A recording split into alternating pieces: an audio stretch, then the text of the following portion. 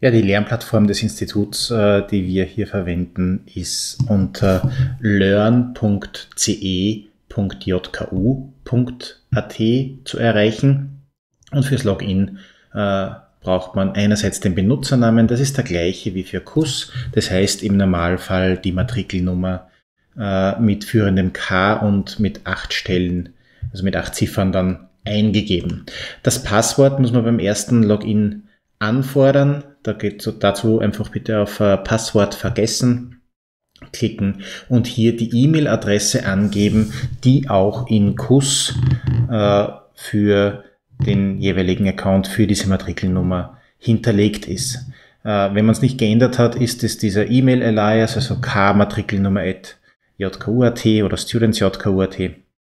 Ähm, wenn man es geändert hat, dann bitte die jeweilige E-Mail-Adresse angeben, die jetzt in KUS äh, hinterlegt ist. Wenn äh, hier dann das, äh, diese E-Mail-Adresse zu diesem Account erfolgreich gefunden wurde, dann trifft ein E-Mail mit einem generierten Passwort ein.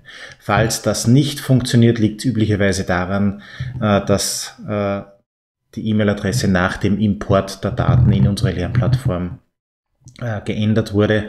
Äh, in diesem Fall bitte einfach bei uns melden. Wir können dann das Passwort zurücksetzen bzw. die E-Mail-Adresse anpassen, sodass ein eigenes Passwort äh, angefordert werden kann.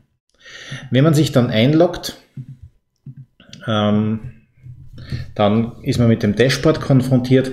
Das erste, worum wir bitten würden nach dem ersten Login, ist gleich dieses generierte Passwort zu ändern. Es wird zwar nirgendwo gespeichert, ist aber auch nicht außergewöhnlich sicher.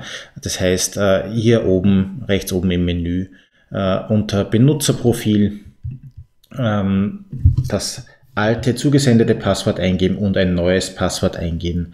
Auf Passwort ändern klicken und damit äh, hat man das Passwort dann angepasst. Wie es jetzt weitergeht äh, und wie man jetzt in die Kurse reinkommt, das schauen wir uns im nächsten Video an.